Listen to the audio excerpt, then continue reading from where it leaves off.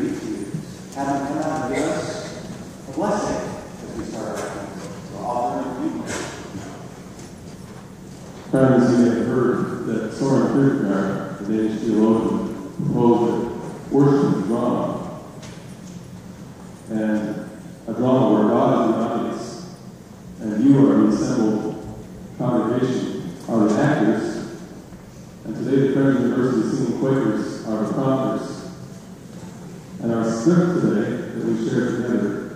It's called Holy Reading.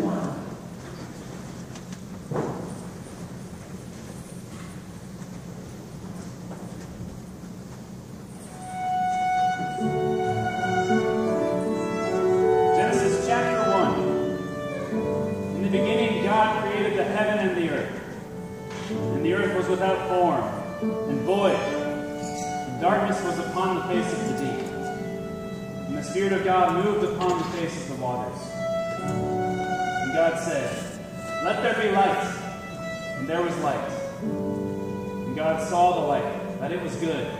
And God divided the light from the darkness. And God called the light day, and the darkness he called night. And the evening and the morning were the first day.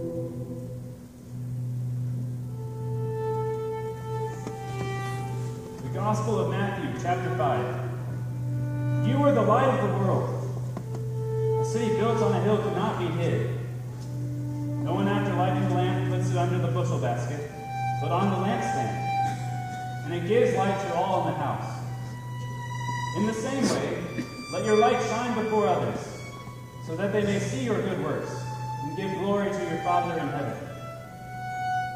George Fox, the founder of Quakerism, wrote in his journal, I was glad that I was commanded to turn people to that inward light, spirit and grace, by which all might know their salvation and their way to God. Even that divine spirit would lead them to all truth, and which I infallibly knew would never deceive